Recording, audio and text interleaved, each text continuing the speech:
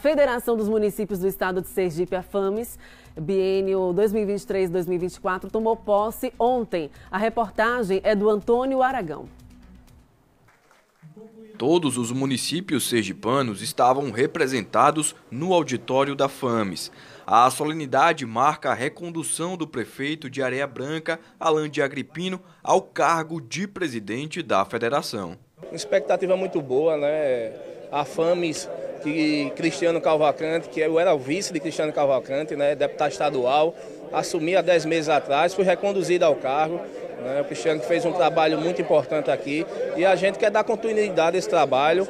Né, de tá, a FAMIS hoje é reconhecida não só no estado de Sergipe, né, a gente faz reuniões Nordeste do Nordeste, a FAMIS é reconhecida também no Nordeste. A posse contou com a presença de diversos prefeitos e inclusive do governador do estado, Fábio Mitidieri.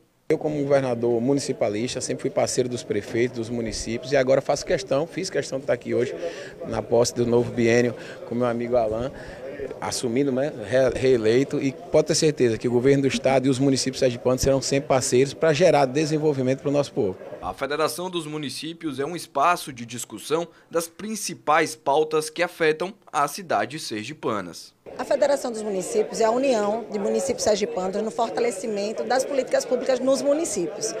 A FAMES ela criou um protagonismo muito grande quando ela abre o diálogo com as instituições, sempre pautado com muito respeito.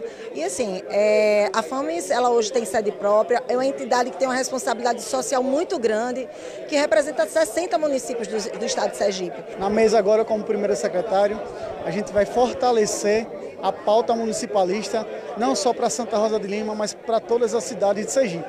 E eu tenho certeza que junto com essa mesa a gente vai conseguir, junto ao governo do estado, junto ao governo federal, que as nossas prioridades sejam atendidas, porque a gente que está lá no município, vivendo, convivendo com a população diariamente. São mais de 53 associados e essa união tem dado bons resultados, né, tanto lá em Brasília, pleitos municipalistas, e na defesa dos interesses dos municípios, pois é, é, são nos municípios que os cidadãos vivem, que surgem as suas demandas e nos municípios é que os gestores têm que estar atentos a essas demandas para poder saná-las e melhorar a vida dos sergipanos.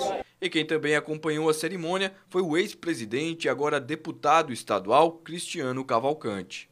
Então, um legado de autonomia financeira, autonomia administrativa dos municípios, fortalecendo sempre o municipalismo. Eu acredito que ninguém nasce no Estado, nem ninguém nasce no governo federal, todo mundo nasce nas cidades. Por isso que eu sempre defendi essa bandeira e, sem dúvida alguma, hoje a gente vê municípios fortes que fazem com que o Estado fique forte. Falando